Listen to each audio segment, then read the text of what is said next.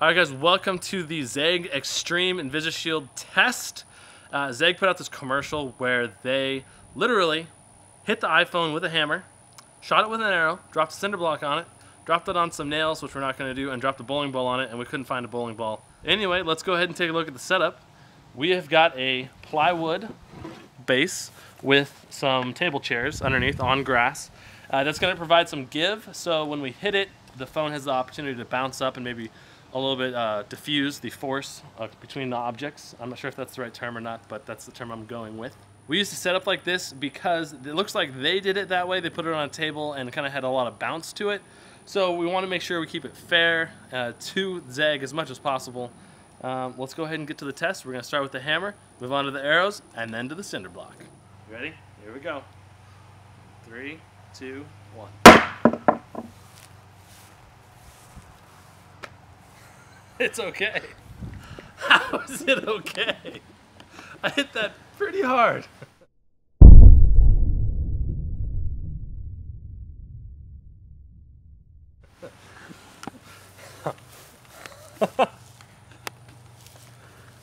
I can see the hammer indent in the plastic, but the phone is actually completely okay as far as I can see. Impressive. Let's move on to the arrow shot. All right, guys, here's the bow. We've got a hunting tip, which is what they used in the video. Uh, we've got the phone set up very loosely so it can totally fall over or whatever, which is what they had in the video. Um, and we're also going to be shooting it at an angle, kind of like a 45 degree angle-ish. So we're hopefully to see if it uh, can handle that kind of impact. All right, three, three, two, one.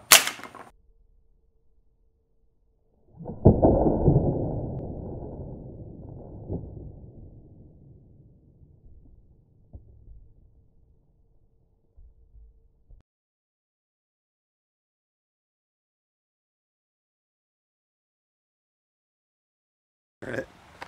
Okay, well, here's the battery. That's what an iPhone battery looks like, in case you were wondering. And be careful, because we saw the arrow, and the arrow just got broken half, and the blades are completely missing. So, uh, here's one. There's a blade. Um, let's take a look at the phone. I don't think a screen protector is going to save you at all from an arrow or anything really high impact. That's just ridiculous. I wonder how many times they had to shoot it at just the right angle to get it even the shot worth it grazing it. uh, well, let's go ahead and pick up the rest of these pieces and uh, drop the cinder block on it for the funsies.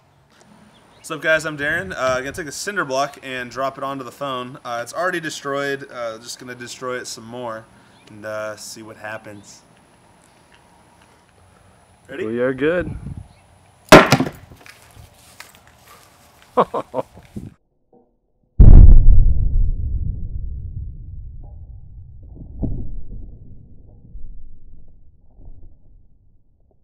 Alright guys, here's the phone. Check it out. That's with only uh, three of the six or seven tests that they did. That's uh, a lot of carnage for not even completing all the tests. There you go. It's really impressive that it survived a hammer blow. It's really impressive that it helped it survive a face down drop test. I'd say it's probably worth it getting a screen protector if you can handle having the extra film on the screen. It's kind of unfortunate that the arrow utterly destroyed it. I don't know what kind of bow they were using, like a five pound kitty bow, but it definitely could not handle a regular compound bow. We don't know how really it would have handled the cinder block test or any of the other tests, but it definitely could not handle the arrow test. And that's a fail in our book. So fail, fail, fail. If you want to check out the link to the original video, click right here or down below in the video description.